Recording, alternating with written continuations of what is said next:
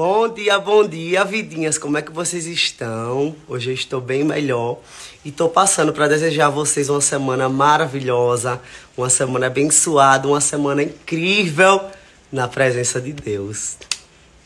Sumidinho por motivos de além da ressaca que eu tava do samba, porque a pessoa nos 30 anos de idade, a pessoa bebe no outro dia adoece, fica riado. Foi assim que eu tava desde sexta-feira. Me arriei de ressaca mas ontem eu tava me sentindo mal, sabe? Assim, sem conseguir peidar, vamos falar assim.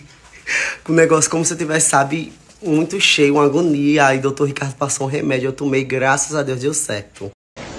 Ai, meu Deus, peguei. Ai, meu Deus, peguei. Ai, meu Deus, peguei. Ai, meu Deus, peguei. Ai, meu Deus, peguei. Pois foi, eu tava agoniado sem conseguir.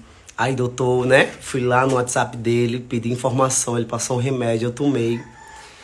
Quando foi uns minutinhos, minha gente, chegar, consegui, ó. Chegar foi um alívio. Ai, obrigado, meu Deus. Ai, consegui dar o primeiro. Já é um alívio. Ai, meu Deus, obrigado. Atualizando vocês.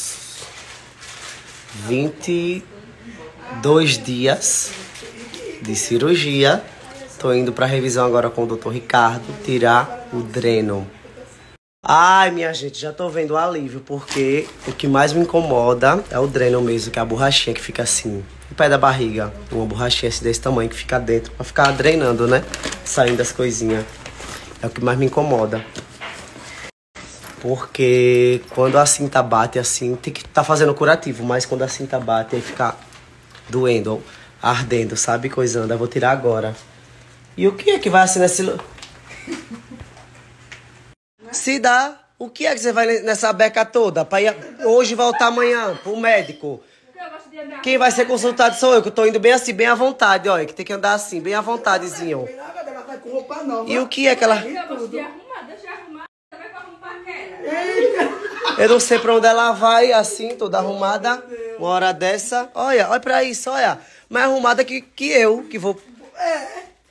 E toda no longo, toda chamando atenção. Ah, pois.